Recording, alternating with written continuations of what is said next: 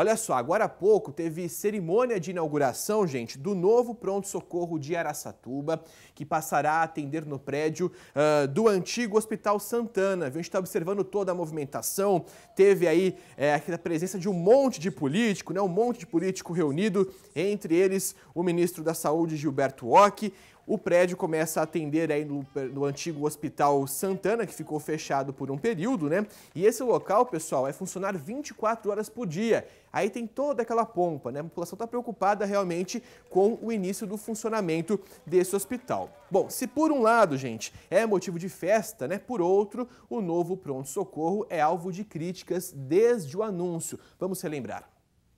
A polêmica começou quando a Prefeitura de Araçatuba anunciou que iria alugar por 24 mil reais mensais o prédio de um antigo hospital particular que passaria a receber todas as funções até então realizadas no prédio do bairro Santana. Na época, o anúncio foi bastante questionado, já que a prefeitura tinha acabado de fechar o pronto atendimento do bairro São João e ainda mantém fechados os prédios onde seriam instalados duas UPAs.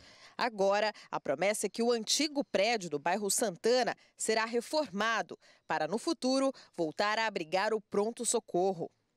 É, aquela expectativa, mas sempre rolou muita confusão. Bom, apesar da inauguração ter sido feita, né, agora de manhã está rolando, na verdade, aí os últimos movimentos, né, os últimos uh, trabalhos políticos, o atendimento ao público, ao paciente, só começa hoje à noite, às 7 horas da noite. Então, quem não sabe, o novo pronto-socorro fica ali na rua Rosa Cury, número 50, bem próximo ao terminal de ônibus e também à Avenida dos Araçás. Então, só reforçando o funcionamento a partir das 7 horas da noite dessa quinta-feira feira.